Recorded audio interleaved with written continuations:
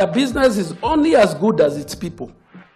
So today, we are here to celebrate and thank each and every one of you for these achievements and to say onwards and upwards. Let's keep going.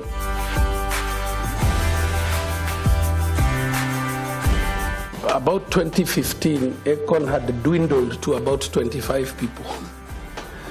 And now I understand, uh, Jen, that it's almost 190.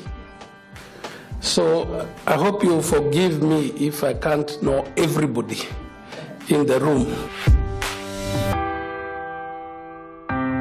We have come from very, very far in terms of uh, achieving certain uh, milestones and certain uh, steps uh, in, in taking Acorn uh, forward.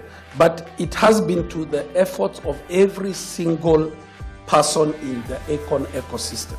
And every person from our frontline staff who are sitting in the properties, uh, were very well represented here, all the way to the head office, have made a tremendous effort to get us here. So we started that journey and we succeeded against a lot of odds. And then we were told, Do you want to list this thing in London? We said, Okay, fine, let's see. And then eventually we went there with His Excellency the President and put the REITs as the first corporate listing ever in East Africa, in London. The teamwork is what is enabling Acorn to do what we are doing. And more importantly, we have done this because of your individual and collective efforts. We want to build Africa's premier rental housing business. Enjoy yourself, and you should enjoy yourself. And celebrate with each other.